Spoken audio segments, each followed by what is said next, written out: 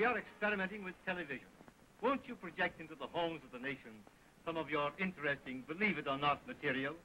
Today is a legal holiday, and almost everyone will be at home. Well, since you mentioned that today is a legal holiday, I'll start right now. There is no such thing as a legal holiday in this country. Neither Christmas, New Year's, Fourth of July, Labor Day, or any other holiday that we observe is legal. And none of them have ever been made legal by any act of Congress. If you're interested in Scotch, let me tell you that a Scotchman actually gave away 350 millions of dollars. His name you probably all know, Andrew Carnegie. He gave away 350 millions of dollars. While you are seeing me in your own homes, let me show you a picture of a blind man and the home he built, unaided, with his own hands. He is Francis A. Burdett of Wayne, New Jersey. Now, I would like to show you the longest word in the world. This word contains 184 letters. You can find it in the works of Aristophanes. I will write it for you.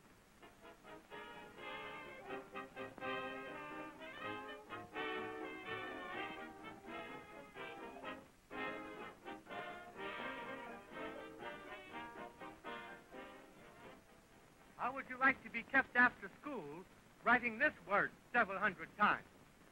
And would you like to hear it pronounced?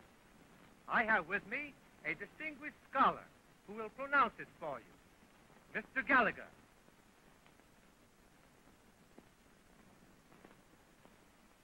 Lipadote masho oh, silaco oh, gapoda pimra uh, patre mastro plicatro petato fato stera cryo freestyle oh uh, before Pala pizza red peanuts and hope trail of pizza freestyle potato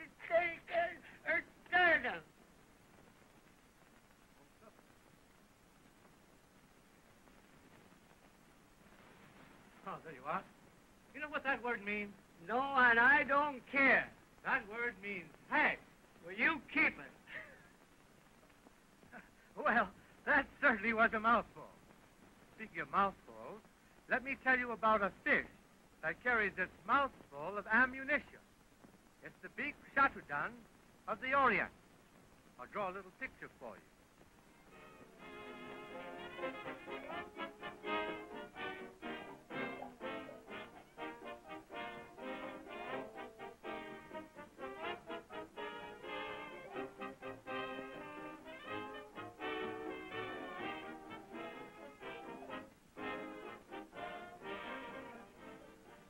The rifle fish, a fish that uses its muzzle to shoot with.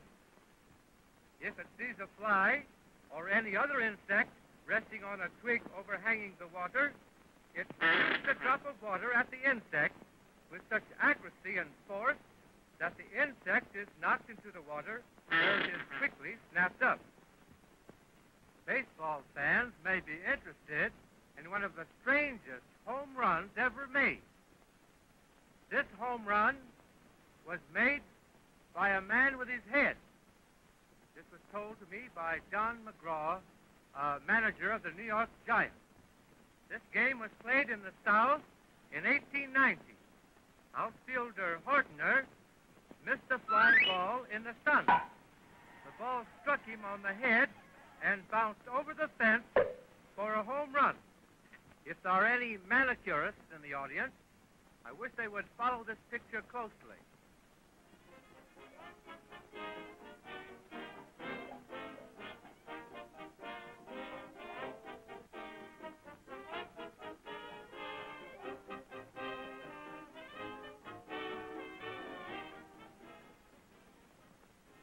This is a Chinese priest that I met in Shanghai, China.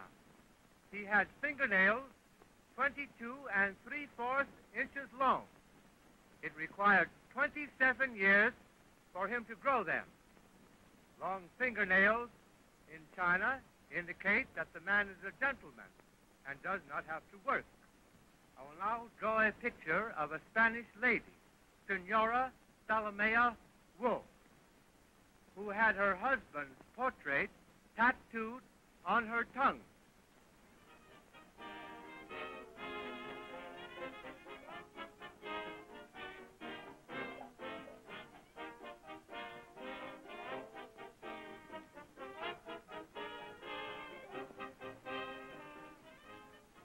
This was done as a penance for nagging him to death.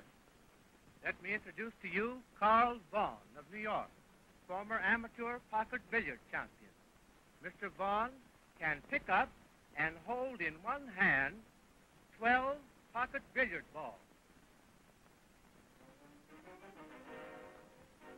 You will note that Mr. Vaughn has unusually small hands. And that he keeps one hand beside him and his body does not touch the table. The first six balls are the hardest, he says. Why, it looks like he's all balled up. Mr. Vaughn could pick them up with his other hand, but that wouldn't be right.